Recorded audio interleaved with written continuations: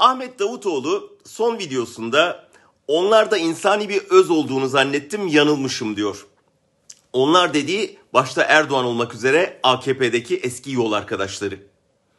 Oysa iyi biliyoruz ki sistemin tüm de- denetim mekanizmalarını, yasamayı, yargıyı, medyayı yıkarsanız, demokrasiyi lağvedip yerine tek adam rejimi kurarsanız, ülkenin geleceğini o tek adamın insani özüne bırakırsınız. O öz yoksa da sadece partiyi değil, ülkeyi de kaybedersiniz. Davutoğlu şimdi yakındığı o tek adam sisteminin mimarlarından biri. Niye o zaman karşı çıkmadın sorusuna e parti bölünürdü Türkiye krize girerdi diye cevap veriyor. Parti bölünmedi çok şükür ama sonunda Türkiye krize girip battı. Ne var ki hepimizin bildiği gibi Erdoğan'da yanılan sadece Davutoğlu değil. Son 30 yılda günden güne büyüyen koca bir yanılmışlar ordusu var karşımızda. Erdoğan'a kapılar açan Necmettin Erbakan'dan başlayın, koltuğunu ona bırakıp giden Abdullah Gül'e kadar.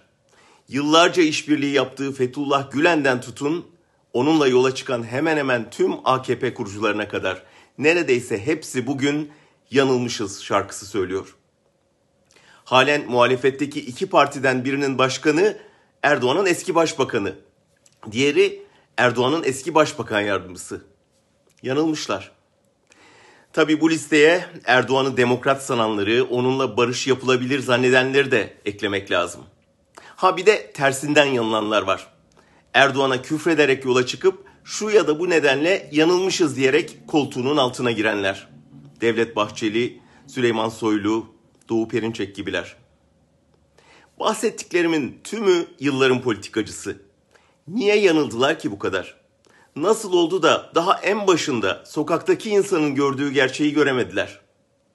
Erdoğan daha yola çıkarken ben demokrasiyi iktidarı gasp etmek için kullanacağım dediği halde niye inanmadılar? Ben burada çıkar meselesi dışında bir cevap bulamıyorum.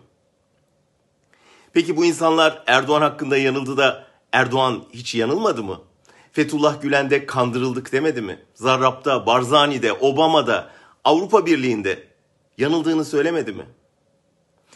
Sonuçta neredeyse yüzde yetmişini yanılmışların oluşturduğu bir siyasi heyetle karşı karşıyayız. Bir de bizden onlara güvenip oy vermemizi bekliyorlar. Siz siz olun, aman yanılmayın. Yanılmayanlardan şaşmayın.